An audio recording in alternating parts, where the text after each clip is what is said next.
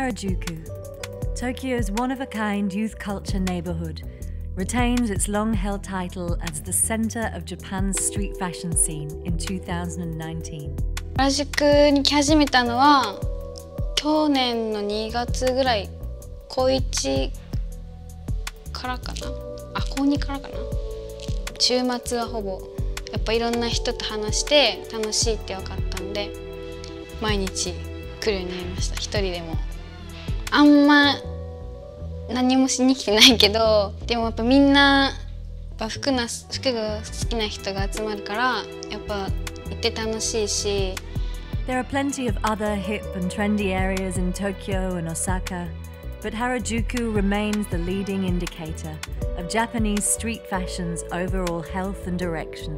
あの上京したての18歳とかそれぐらいの時にやっぱり雑誌で読んでて原宿って絶対出てくる場所だったんで行ってみたいなと思ってすげえ人がいるってのがやっぱり率直な印象で雑誌で見たお店とかもやっぱり探しながら歩いてたりしてあ本当にあるんだみたいな。Trends, brands, personalities, and shops get noticed here first, then spread outward. Harajuku welcomes a new generation of kids every spring, around the time the Japanese school year starts in April. The majority of these new 16 to 20 year old Harajuku kids are college students, often attending a nearby fashion, design, or beauty school experiencing the freedom of young adulthood.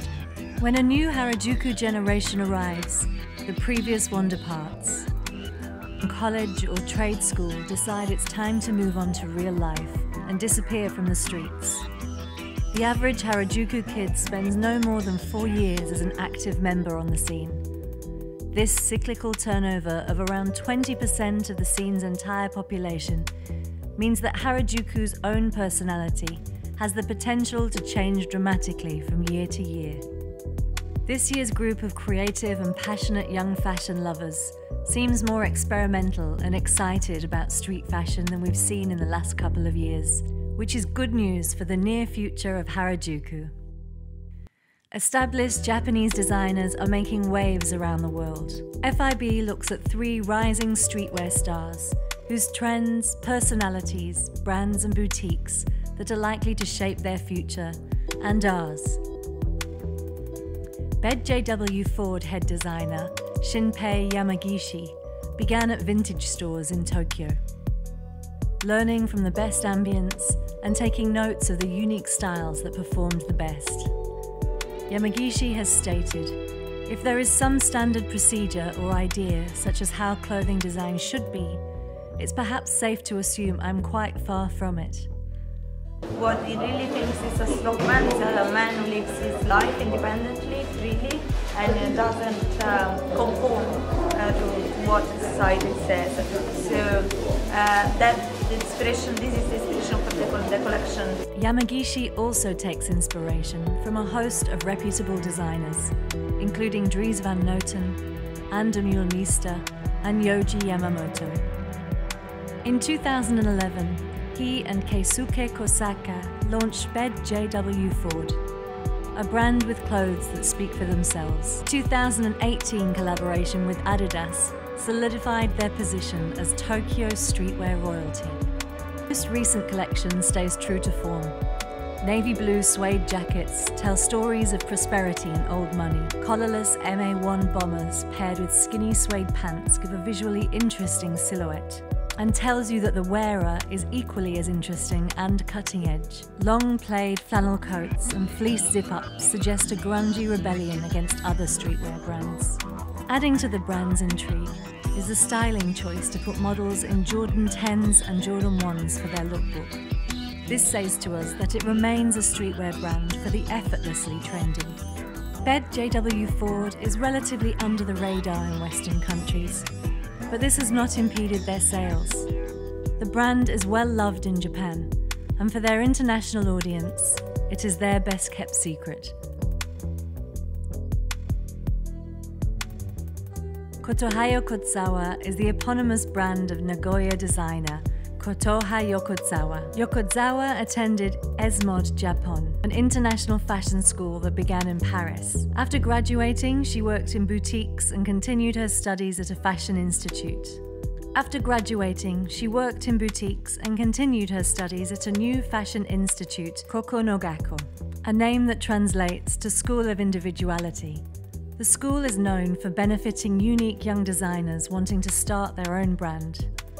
Yokozawa says she creates her unique cut and paste styles principally because it's what she would want to wear, not because she wants people to buy it.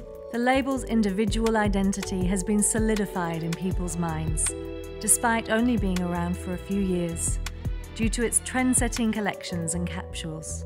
Focused on deconstructed and layered pieces, the brand is known for creating statement pieces that look like nothing you've ever seen before. Lace, frills, and feminine silhouettes are blended with the Comme des Garçons esque pieces and quintessentially millennial references. From intricate prints to calming pastels to mesh and silk textures, Kotohayokozawa is a brand that's only just beginning to show us what it can do. Fumika Uchida is another eponymous brand, launched by Fumika Uchida in 2014. Uchida began her fashion career working at Santa Monica Omotesando, one of the best known and most popular Tokyo vintage stores. There she honed her skills in picking out the best vintage clothes, but eventually she wanted to explore fashion in a new way.